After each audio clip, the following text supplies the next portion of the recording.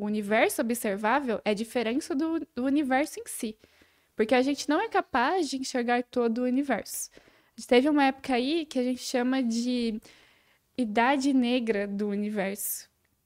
Porque durante o momento, o universo, ele era o que a gente chama de sopa cósmica. Então, ele tinha uma temperatura, uma densidade muito grande, as coisas estavam ali concentradas em uma coisa só, e deixava tudo meio nevoado. Os elétrons livres, eles acabavam impedindo os fótons de sair e ir para muito longe. E, como eu já disse, a astronomia é a ciência da luz. Então, se não tem fótons indo para lugar nenhum, a gente não vai conseguir enxergar. E isso durou mais ou menos 138 mil anos. Então, durante 138 mil anos, os primeiros 138 mil anos do universo foram escuros porque simplesmente os fótons não conseguiam sair dali. Aham. Então, essa fase a gente perdeu. Nós não conseguimos, nós não conseguimos enxergar. Então, o universo observável é o universo em que a luz deu tempo de chegar até a gente. É o tempo que a, os fótons conseguiram chegar até nós. Então, o universo que a gente observa é menor do que o universo real. Então, quando a gente tá observando o universo ali. Não é que a gente tá observando. Não sei nem como formular essa pergunta, mas assim, a gente tá observando ah, o passado. Sim, sem dúvidas. Muito do passado? Tipo assim, quão passado a gente tá falando aqui? É a ideia do James Webb, né? Porque a luz, ela não é instantânea. Então, quando a gente olha para tudo, é, a gente não tá vendo o presente, como é de fato, a gente tá sempre vendo o passado. A luz, ela tem mais ou menos uma velocidade de 300 mil quilômetros por segundo. Então, é essa velocidade que ela vai percorrer a distância que for. Ela não vai passar dessa velocidade. Então, quanto mais distante, ela, mais tempo vai demorar para a luz chegar até os nossos olhos, consequentemente, mais no passado a gente vai ver. E isso fica um pouco mais curioso quando a gente para para pensar que o nosso processamento de imagem também não é instantâneo, né? Então a gente tem mais um delay somado junto com tudo isso.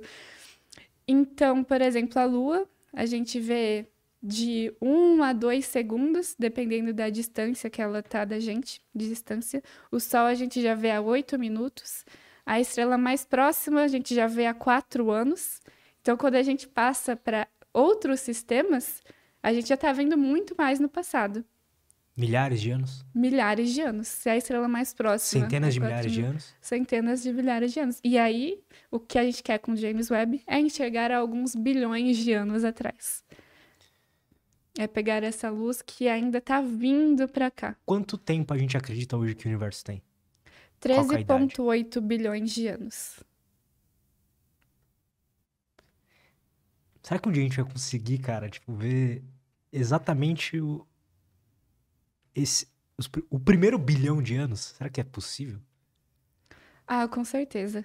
A gente já tem aí algumas galáxias que estão catalogadas com essa idade. Então a gente já consegue enxergar, mas o ponto é que a gente não quer enxergar somente as galáxias, né? A gente quer enxergar o que formam essas galáxias, então alguns aglomerados de estrelas, porque a gente vai conseguir estudar elas mais a fundo, porque como são objetos muito distantes, por exemplo, a gente demorou muito tempo. Foi nessa década que a gente conseguiu enxergar o pli- primeiro planeta de outra galáxia. Então, olha a dificuldade para enxergar esses objetos menores.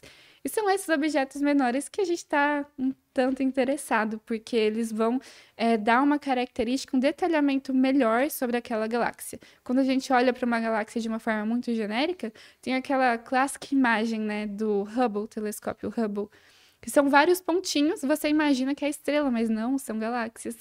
E se a gente conseguisse, conseguisse enxergar as estrelas que compõem esse único pontinho, a gente teria muito mais informações do que a gente tem hoje.